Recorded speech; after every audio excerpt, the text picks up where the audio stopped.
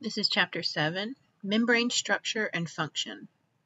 So, in this chapter, we'll look at how the membrane plays a role in maintaining cell homeostasis by regulating inbound and outbound traffic of molecules.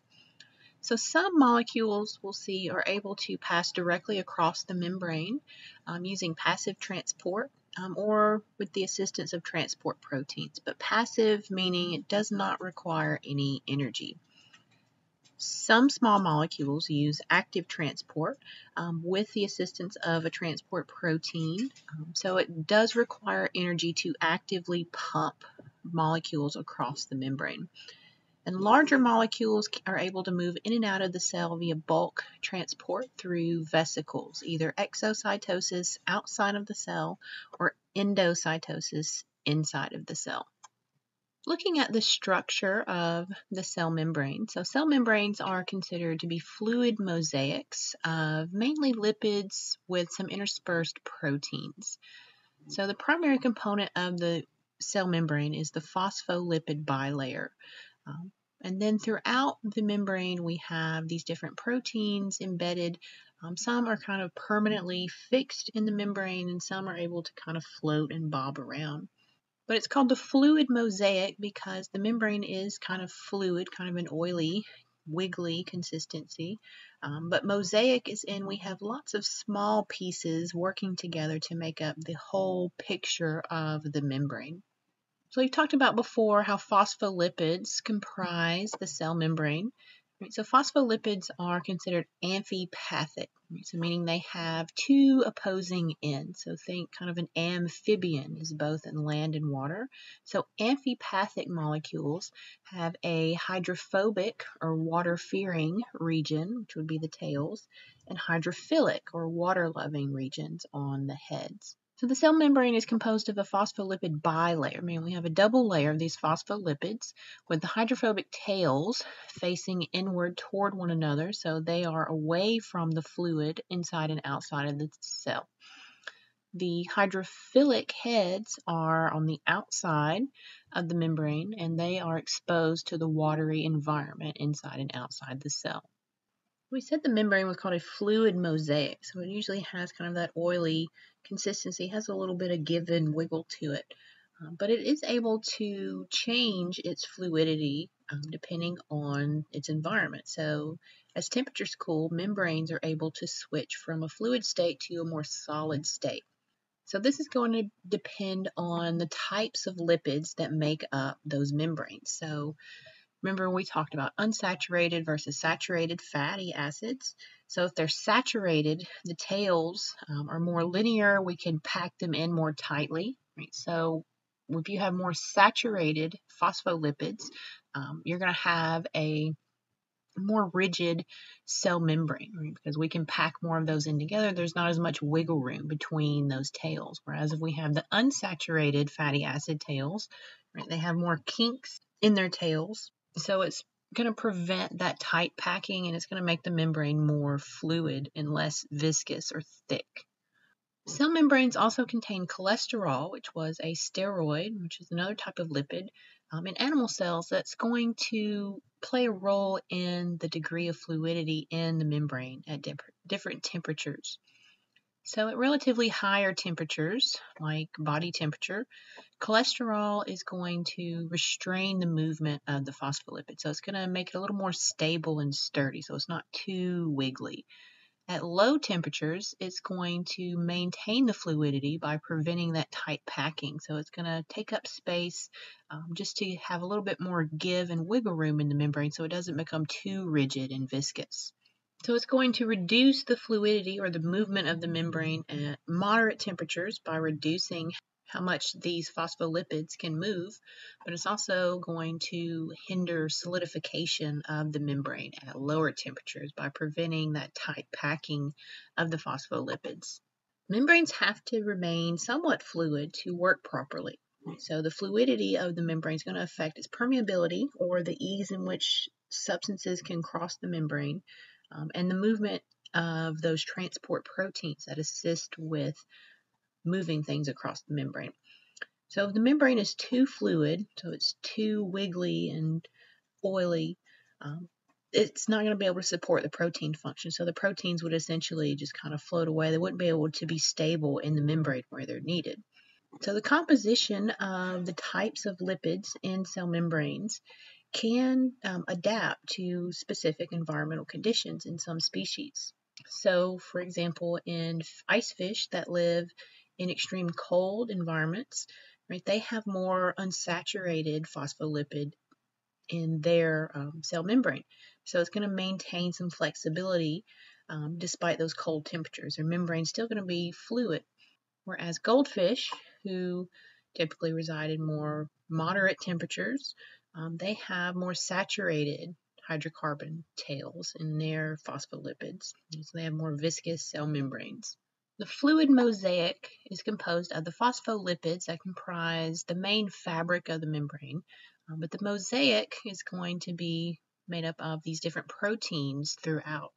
Um, and the proteins are what's really going to determine most of the membrane's function um, in allowing things in or out of the cell, as well as communicating with other cells and attaching to other cells.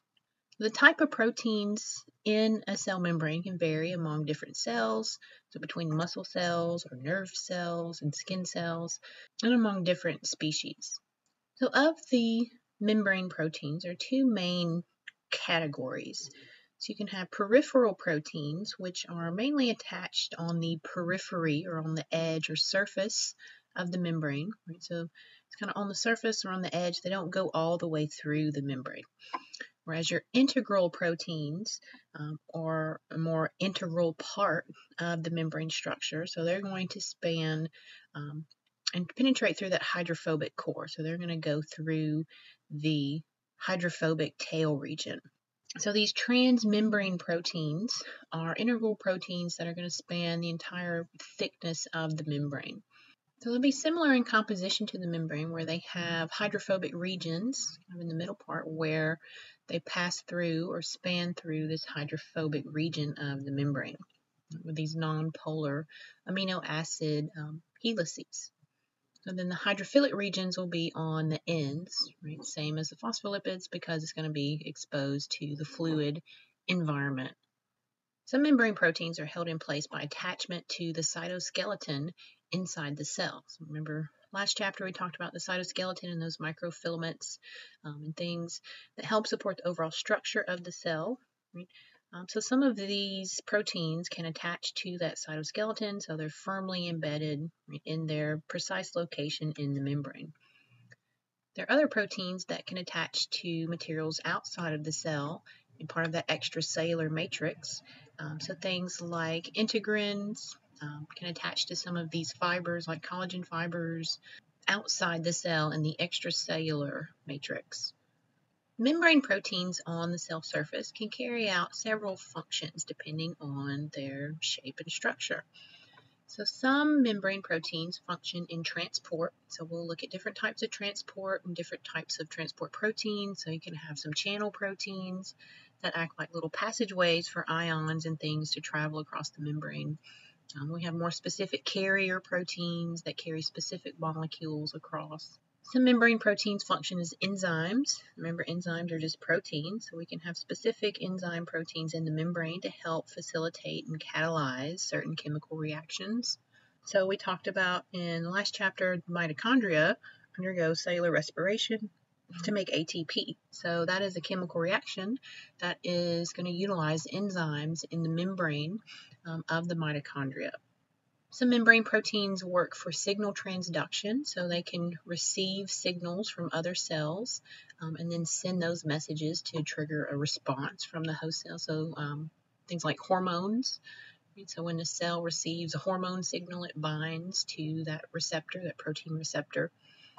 Cell to cell recognition. So some proteins recognize and bind to some of those identifying carbohydrate chains right, or glycoproteins on the surface of another cell. So remember we talked about those self-identifying markers or flags on the surface of a cell. Intercellular joining, so like some of those tight junctions or desmosomes that we talked about um, in the last chapter, those cell connections, so how cells physically attach to one another to form continuous tissues and things like that.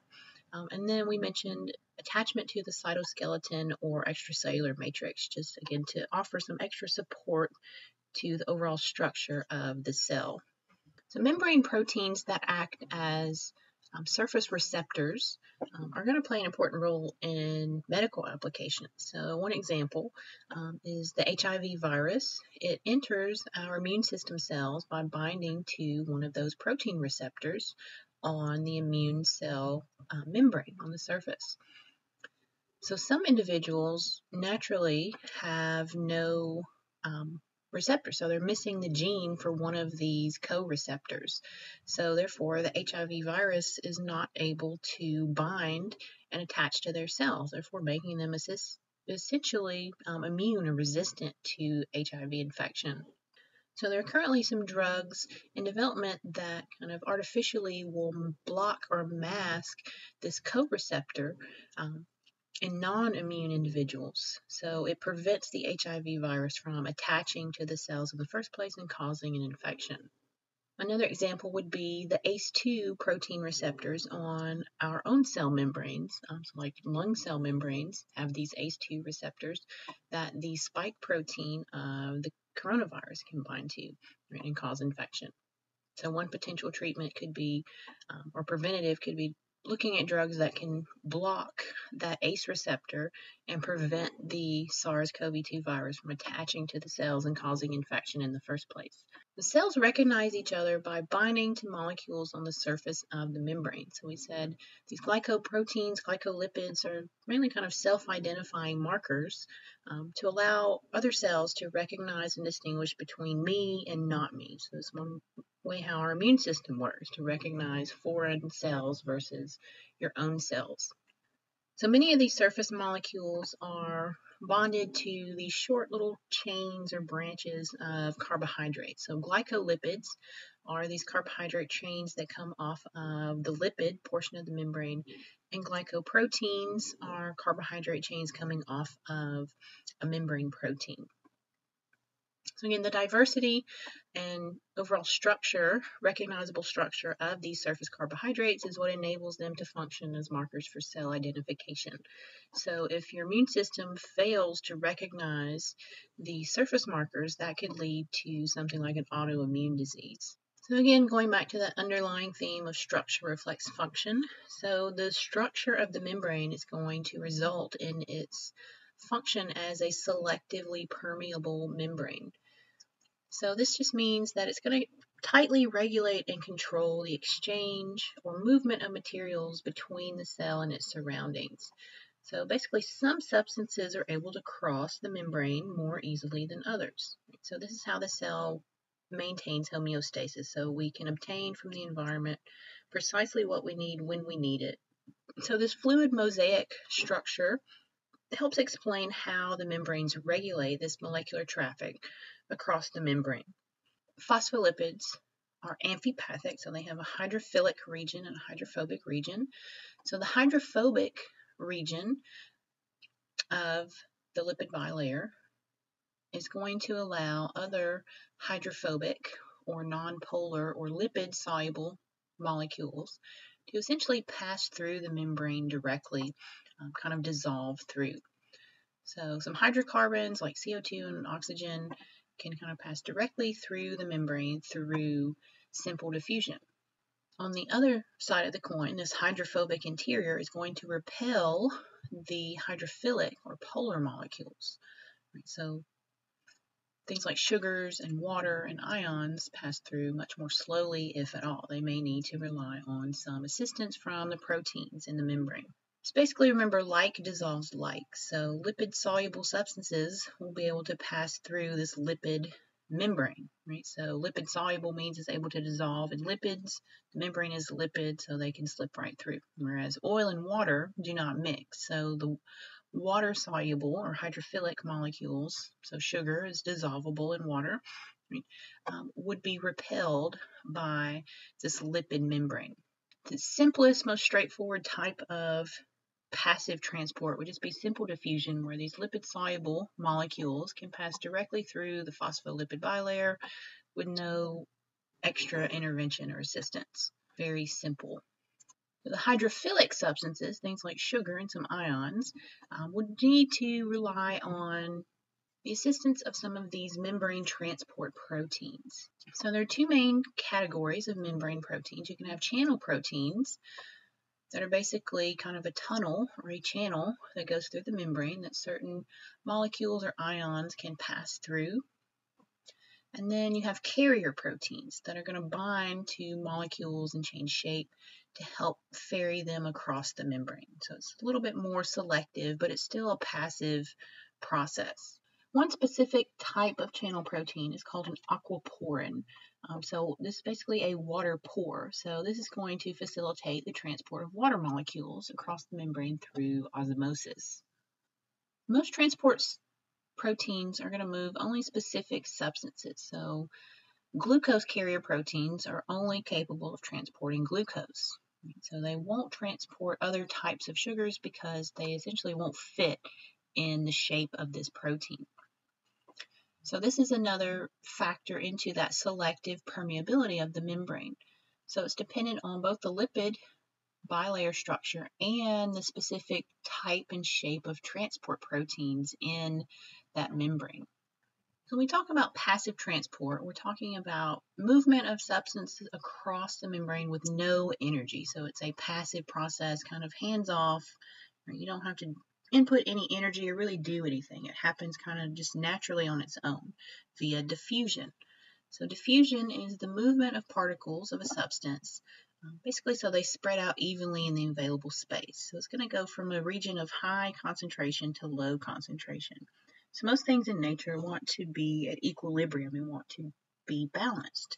So diffusion is how um, these molecules can try to obtain that equilibrium and that balance. So one example that we usually do in lab, so you have a beaker of water, right, and you add a drop of dye into the beaker of water. So when you first place the drop, right, you have a little drop of the dye in the middle of the beaker.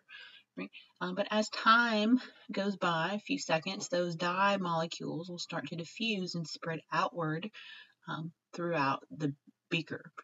Um, so after a certain period of time, you have evenly dispersed the dye and the water molecules, and you have kind of a uniform color or tint now to the water. So essentially, it's been completely dissolved um, and evenly dispersed throughout the beaker of water. Um, another example that I used to do in my anatomy lab when we talked about diffusion um, is I would stand in one corner of the lab room right? We have the different tables throughout the room, um, and I would spray this really strong, like old lady perfume. Um, so as students were able to smell the perfume, right, they would raise their hand. So as those perfume molecules disperse through diffusion and diffuse throughout the room, right, they're going to slowly spread to the back of the room. So what would happen is students closest to where I was standing in the front of the room right at that table, they would be able to smell it first. And then um, lastly, the students, the far end of the room at the last table, they would be the last ones to smell it as those perfume molecules kind of diffused and spread to reach equilibrium and evenly disperse with the air molecules in the lab. The substances are always going to diffuse or spread down their concentration gradient. So the concentration gradient is just the difference between the concentration on either side of a membrane. And again, this is passive because there's no energy expended by the cell. Um, so you can think of this as rolling the ball down the hill. So this is easy, right? You just let it roll, it goes on its own, right? Um, or floating downstream. You just kind of go with the flow and the current. You don't have to actively use any energy or paddle or whatever you know, ride your bike down a hill, right? You just kind of coast and it'll go naturally. Whereas active transport would be the opposite. So now we're going uphill or against that gradient. So in that case, we would have to use some energy, right? So you would have to paddle and swim or pedal your bike up the hill.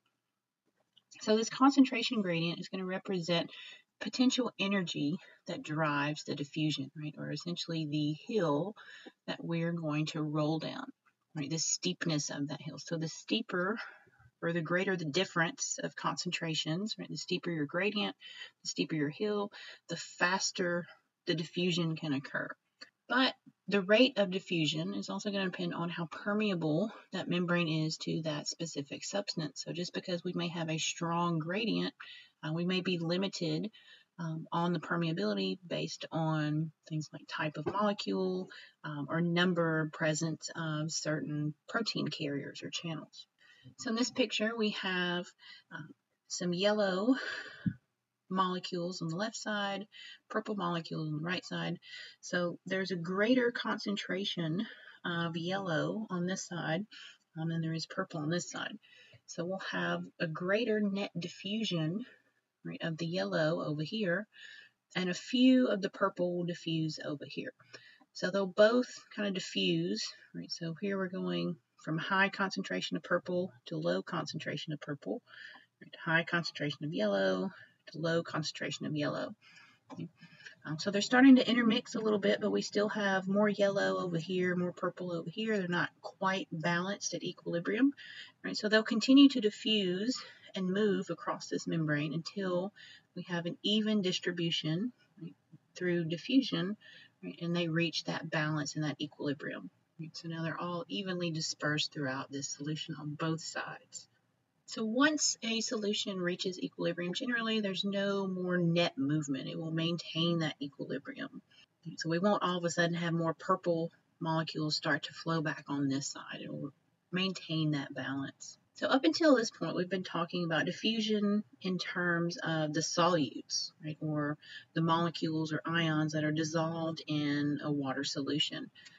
However, we can also look at the diffusion or movement of water molecules themselves um, with osmosis. So osmosis is the diffusion of water molecules across the membrane.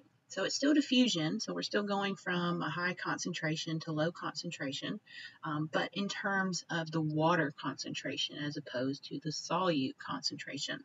So free water molecules will diffuse across the membrane from the region of a low solute concentration to a high solute concentration. So basically we're going from high water to low water.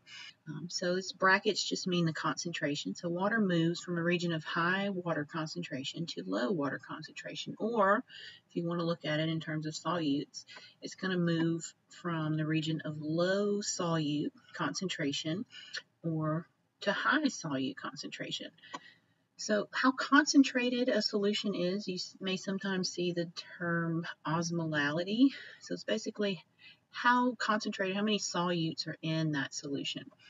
So if we have low solutes, it has a low concentration, it has a low osmolality. Again, if we're talking about standard diffusion of solutes, so the red sugar molecules would diffuse to the right side of our membrane, but the water is going to diffuse through osmosis toward the left side, right? So once it reaches equilibrium, um, then we have that even distribution between the sugar and the water molecules on both sides. So when looking at osmosis and the diffusion of water, we have to look at the tonicity of a solution. The tonicity is just the ability of the solution to cause a cell to gain or lose water. So how is it going to influence that osmosis or that water movement um, in or out of a cell? The tonicity is going to depend, again, on the concentration of solutes, right, or the osmolality, um, how concentrated that solution is relative to what's inside the cell. Right, so our cells maintain homeostasis, so they have kind of a standard range of tonicity or concentration of solutes that they maintain. So if the solution has a higher concentration of these solutes, then the water will leave the cell via osmosis. If the solution has a lower concentration than what's inside the cell, then water will rush in the cell via osmosis and cause it to swell. So water is always going to want to move to the more concentrated area to try to dilute down that more concentrated solution right, and reach equilibrium. So three types of tonic solutions. So isotonic is where the solution is already naturally at the same concentration as what's inside the cell. So it's already kind of naturally at equilibrium. There's no net gain or loss of water and the cell is happy. A hypotonic solution is where the solution is less concentrated, right, or there's more water in the solution than what's in the cell. Right, so inside the cell is more concentrated than the solution. So water is going to want to diffuse inside the cell, right, to reach that equilibrium and dilute some of the internal cell contents. So this can cause a cell to swell and potentially burst. You think hypotonic. Um, hypo means below normal, so the solution is below, the concentration of the solution is below what's inside the cell.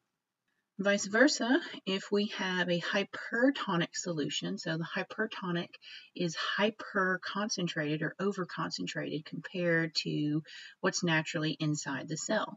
So the water will want to move out of the cell through osmosis to dilute out some of this concentrated solution out here. So as a result, the cell loses water and can shrivel um, and what's called crenate so different types of cells, animal cells or plant cells, have kind of different preferences for tonic solutions and tonicity. So a plant cell that's in a hypotonic solution will take up water right into that central vacuole, and the cell will swell um, until it presses on that cell wall. So remember, plant cells have a cell wall that gives them kind of an extra kind of rigidity layer that keeps them from bursting. The normal or the ideal solution for plant cells would be hypotonic. So that's going to completely fill that central vacuole, right, make the cell kind of completely full, right? So this is referred to as turgid. Um, it's going to increase the turgor pressure of the the plant cell, right? Keep it from wilting. Whereas animal cells, um, we don't have a cell wall to keep our cells from swelling too much. So a hypotonic solution would cause our cells to take on so much water until they potentially lyse or burst. So because we don't have cell walls, um, we can't tolerate that excessive water loss or uptake like some plant cells can. So for animal cells, we prefer isotonic solutions, right, that are the same concentration as our natural cells' internal contents. Um, so we have no net movement of water. Whereas plants, um, if they're in an isotonic solution, um, their central vacuole isn't completely filled, so they're considered to be a bit flaccid. Um, and then both plants and animal cells don't like a hypertonic solution because that's going to cause the cell to lose too much water and shrivel up. Right? So in animal cells, they can shrivel or crenate. Um, in plant cells, they become what's called plasmolyzed. So we drain all the water out of the plant cell, and essentially the plant will wilt uh, and can potentially die. So some organisms that live in aquatic environments um, have to undergo osmoregulation and control their solute concentration and water balance on a regular basis because they're always surrounded by different solutions. One example would be a paramecium, which is a type of protist, a single-celled organism um, that typically lives in a hypotonic environment. So it would want to take on water through osmosis, being in a hypotonic solution. So, in order to prevent um, the paramecium from taking on too much water and lysing or bursting, they have one of these contractile vacuoles that allows them to contract and expel that excess water out of their cells so that they don't get too full um, and swell too much from that hypotonic solution. Facilitated diffusion is facilitated or assisted by different transport proteins just to help speed up this passive transport of molecules across the membrane. So we talked about protein channels, so these little tunnels or channels, or more specific carrier proteins that bind to specific molecules and kind of shuttle them across the membrane. So the channel proteins provide corridors to allow specific molecules or ions to cross the membrane, so things like glucose or sodium, Aquaporins are specific protein channels for water molecules, uh, so through osmosis. So aquaporin is in a water pore or water channel. Um, and then some ion channels can facilitate the transport of ions or charged particles like sodium or potassium. Some ion channels um, have a, an extra layer of selectivity in their permeability um, called gated channels. So these channels are only going to open under specific circumstances or in response to a specific stimulus. So essentially you have to have the correct key or signal to open these channels and allow those ions to flow across the membrane. So one example would be um, in nerve and muscle cells, we have these gated channels that are going to respond to a neurotransmitter called acetylcholine that binds to the specific receptor shape um, on this membrane protein. So you're going to have a specifically shaped key to open this lock on this gate. So once the nervous system sends that neurotransmitter, so it's giving the signal, the green light to start this nerve impulse or this muscle contraction, right? Then we can open the channel and allow those ions to flow across the membrane. Even though we're using the assistance of membrane proteins, it's still considered a passive transport because the solutes are still moving down that concentration gradient. So they're still rolling downhill or downstream, right? So it's not going to require any energy. However, we are able to tap into our ATP energy source to transport solutes against that concentration gradient. So say now we want to go uphill or upstream, Right, so we're going to just have to use a little bit of energy to pump those solutes across the membrane. So this active transport is going to use energy in the form of ATP to actively pump these substances uphill against those concentration gradients. Active transport is going to enable the cells to maintain those precise solute concentrations um, inside and outside the cell. So a classic example for active transport is the sodium potassium pump. It's very important in things like nerve impulse generation um, and muscle contraction. So example, the concentration of potassium ions is higher and the concentration of sodium ions is lower inside the cell right, than outside. Right? So if we want to pump potassium inside the cell and sodium outside of the cell, we have to use energy to go against that gradient. So natural diffusion, sodium would want to go from high to low inside, potassium would want to go from high to low outside. However, using ATP, we can um, bind, and again, they're specific, so it specifically binds to three sodium ions.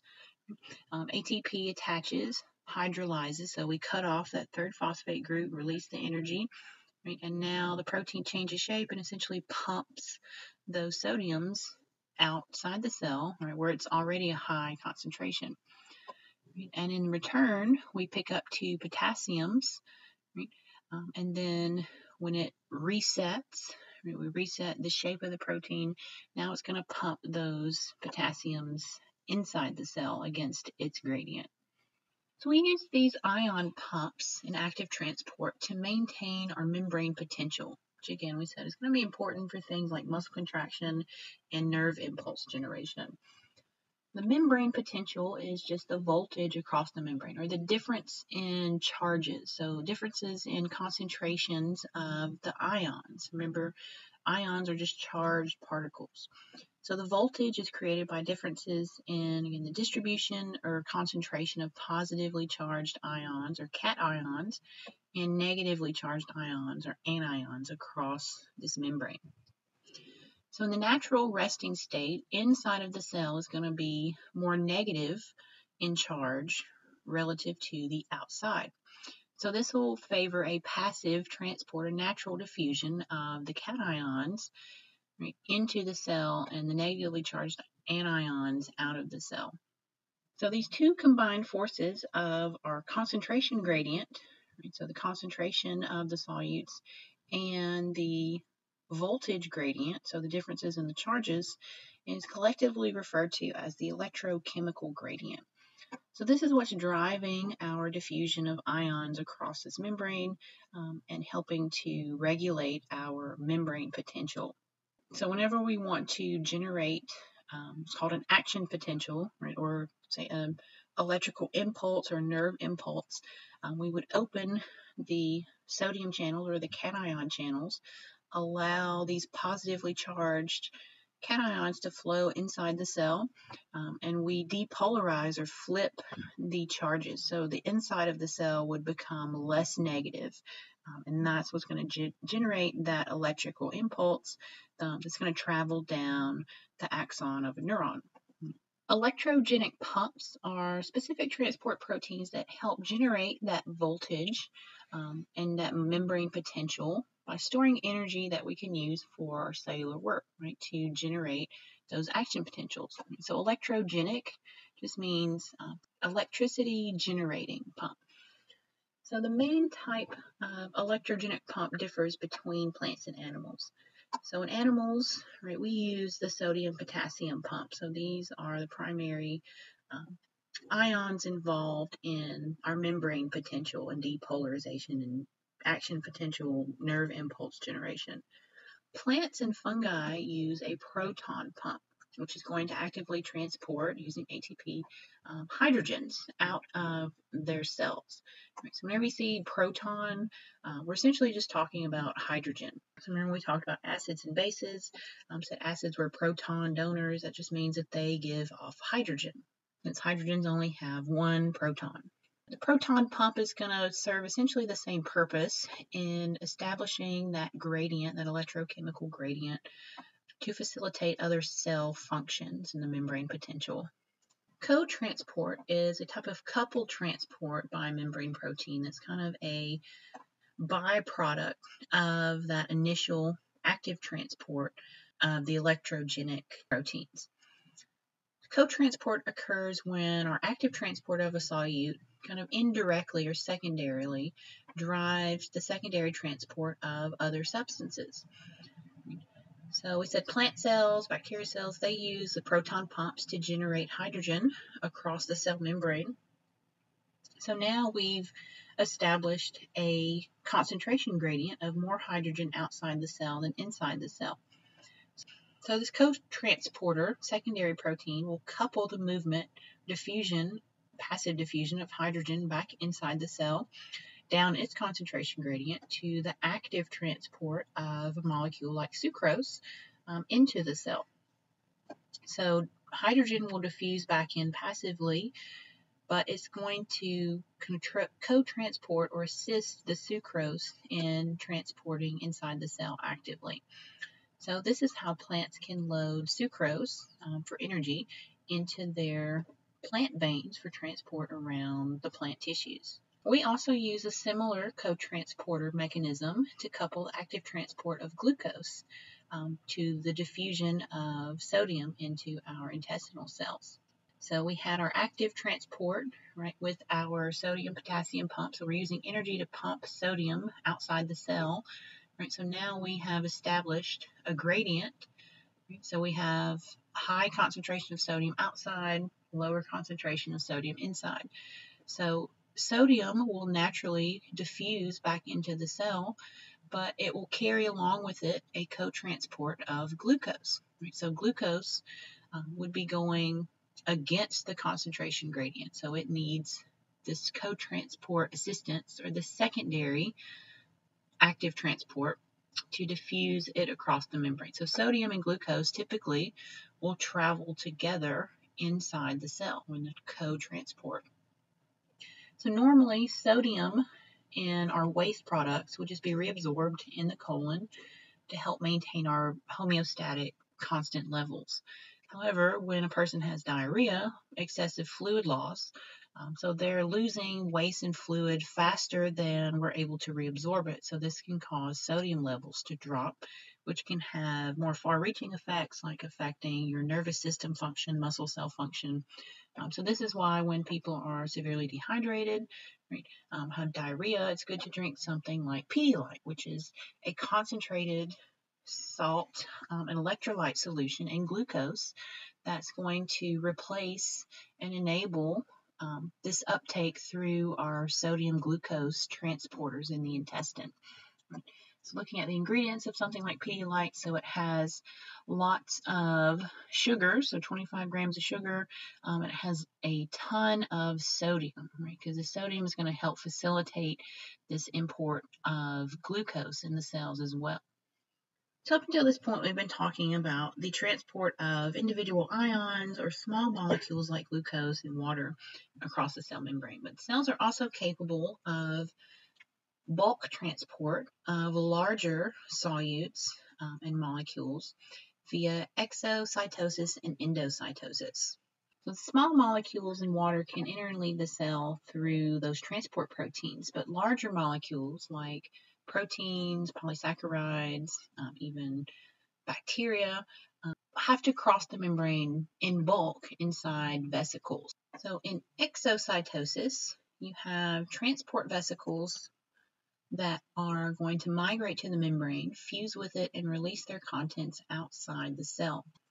So because these vesicles are made up of the same type of phospholipids, right, they can just fuse and merge with the main cell membrane and expel those contents into the extracellular fluid. So we talked about the organelles in the cell. So when we secrete proteins out of the cell, we use exocytosis. So many secretory cells will use exocytosis to export their products. So cells in the pancreas secrete insulin right, by this exocytosis. So remember, the Golgi apparatus will package and sort these products into the vesicles and then ship them out of the membrane through exocytosis. So exo being outside the cell. Endocytosis is where we're taking up large molecules inside the cell or endo. So essentially a membrane will form a vesicle or pocket around um, the substance and pinch it off and bring it inside for transport. So there are three main types of endocytosis. Phagocytosis is basically cell eating. So we will kind of extend part of the membrane out to engulf and wrap around um, a food particle or whatever we're bringing inside the cell. So this is a real little video of a white blood cell that is engulfing a bacterial cell pinocytosis you can think of like cellular drinking. So instead of extending outward to grasp something, we're going to draw inward. Right? So we're going to suck in some of the fluid in the extracellular fluid and drink whatever's in that fluid and bring it inside the cell. Um, and then the third type of endocytosis is just a bit more specific in that we have specific receptor proteins that are only going to bind to specific molecules. Right? So we're only going to bring in certain molecules in the cell, whereas phagocytosis or pinocytosis, we're bringing in whatever we grasp. Right? Where this one, we're not going to form that vesicle until those receptors bind to a specific molecule, right? and then we can bring those in. Right, so in this example, um, these receptors only bind to the green molecule. So the red ones aren't going to be brought inside the cell. So one kind of medical application for endocytosis, this receptor mediated endocytosis, um, is human uptake of cholesterol. Um, so we generally uptake cholesterol um, as low density lipoproteins. So we have specific receptor proteins um, that when they bind to this LDL, right, they'll form the vesicle through this um, receptor mediated endocytosis, bring it inside the cell, and break it down. However, there are some individuals that have a genetic defect for those receptor proteins. So they're not able to bind to the cholesterol and bring it in their cell to break it down. So as a result, um, the cells aren't able to take the cholesterol out of the blood. And so it will accumulate and build up in the blood vessels, narrowing the space for blood flow, um, resulting in potential heart damage um, and strokes. This condition is called hypercholesterolemia. So whenever you see emia in the word, it means we're talking about something in the blood. Remember, said hyper means above normal. So they have excess or above normal levels of cholesterol in the blood.